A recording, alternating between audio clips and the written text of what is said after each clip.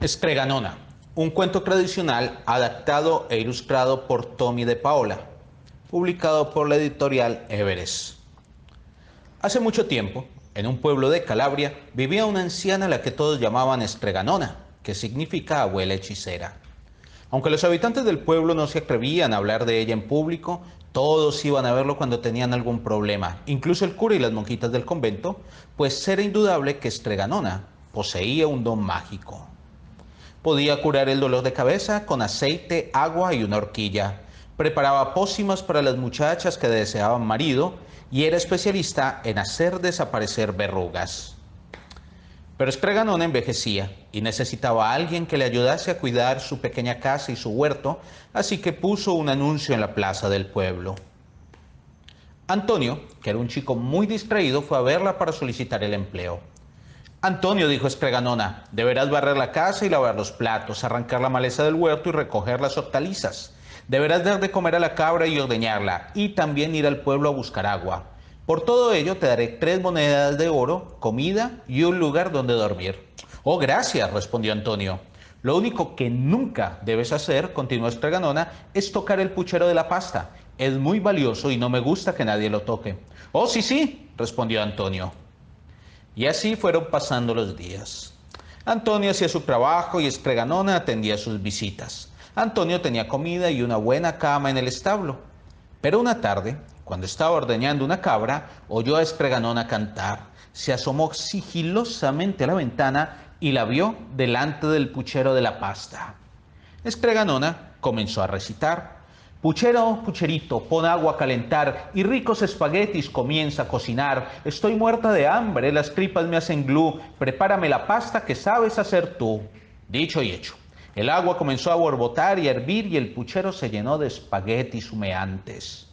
Poco después, Estreganona dijo, Puchero, pucherito, ya tengo suficiente con estos espaguetis sabrosos y calientes. Apaga ya tu fuego, deja de burbujear hasta que yo te mande de nuevo cocinar. Es increíble, exclamó Antonio, ese puchero es mágico de verdad. En ese momento Estreganona lo llamó para cenar. Oh, qué mala suerte. Porque entonces Antonio no pudo ver cómo Estreganona lanzaba tres besos en dirección al puchero después de recitar las palabras mágicas. Al día siguiente, Antonio fue al pueblo a buscar agua. Al llegar a la plaza le contó a todo el mundo lo que había visto. Y naturalmente todos se echaron a reír porque nadie se lo creía. ¿Un puchero que cocina solo? Vaya cuento, Antonio, le decían. Será mejor que vayas a confesarte con el cura.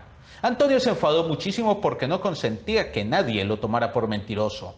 Algún día os lo mostraré, pensaba. Conseguiré el puchero de la pasta y haré que cocine solo. Y entonces todos tendréis que pedirme disculpas. Ese día llegó mucho antes de lo que Antonio se había imaginado, puesto que apenas dos días más tarde, Estreganona le dijo, Antonio, he de visitar a mi, amiga Estregamelia, que vive en un pueblo al otro lado de la montaña. Barre la casa y quita la maleza del huerto. Da de comer y ordeña la cabra. En la alacena tienes pan y queso, pero sobre todo, recuerda, no toques el puchero de la pasta. Oh, sí, sí, Estreganona, le respondió Antonio, aunque en el fondo pensó, por fin ha llegado mi oportunidad. Tan pronto como Estreganona desapareció de su vista, Antonio entró en la casa, cogió el puchero del estante y lo colocó en el suelo. Ahora trataré de recordar las palabras mágicas y empezó a recitar. Puchero, pucherito, pon agua a calentar y ricos espaguetis se comienza a cocinar. Estoy muerto de hambre, las tripas me hacen glú, prepárame la pasta que sabes hacer tú. Al instante, el puchero comenzó a hervir y se llenó de pasta. Lo conseguí, exclamó, Antonio alborozado. Corrió a la plaza del pueblo, se subió a la fuente y gritó, Coged tenedores y platos, bandejas y cuencos. Hay pasta para todos en casa de Estreganona. Todo el mundo se echó a reír, pero fueron a buscar tenedores y platos, bandejas y cuencos. Y cuando llegaron a casa de Estreganona, el puchero de la pasta ya comenzaba a desbordarse. Antonio se había convertido en un héroe. Con una pequeña pala fue sacando los espaguetis y llenó cuantos platos, bandejas y cuencos le presentaron. Había más que suficiente para todo el pueblo, incluidos el cura y las monjitas del convento. Aunque algunos repitieron dos y hasta tres veces, la pasta nunca se agotaba. Una vez que todos estuvieron llenos, Antonio recitó, Puchero, pucherito, ya tengo suficiente con estos espaguetis sabrosos y calientes. Apaga ya tu fuego, deja de burbujear hasta que yo te mande de nuevo cocinar. Pero, qué mala suerte, no le lanzó los tres besos al aire. Antonio salió y respondió a los aplausos con una reverencia. Estaba tan ocupado atendiendo a los elogios que le dedicaban que no se dio cuenta de que el puchero aún seguía viendo hasta que una monquita del convento exclamó, ¡Eh, Antonio, mira! Los espaguetis habían inundado el suelo de la casa Estreganona y comenzaban a salir por la puerta. Antonio entró corriendo y gritó de nuevo las palabras mágicas, pero el puchero seguía burbujeando. Lo levantó del suelo, pero los espaguetis continuaban saliendo sin cesar. Así que cogió una tapa, la puso sobre el puchero y se sentó encima. Los espaguetis levantaron por los aires la tapa y a Antonio con ella y continuaron desparramándose por toda la sala. Deténganse, gritó Antonio pero no se detuvieron y si alguien no hubiera sacado a Antonio de allí, los espaguetis lo hubieran ahogado. La casa se había inundado de pasta, salía por ventanas y puertas y el puchero, entre tanto, seguía burbujeando. Los habitantes del pueblo comenzaron a preocuparse. ¡Haz algo, Antonio! le gritaban. Antonio recitó de nuevo las palabras mágicas, pero sin los tres veces, sin los tres besos no tenían ningún efecto. Para entonces los espaguetis rodaban ya calle abajo y la gente se veía obligada a correr delante de ellos.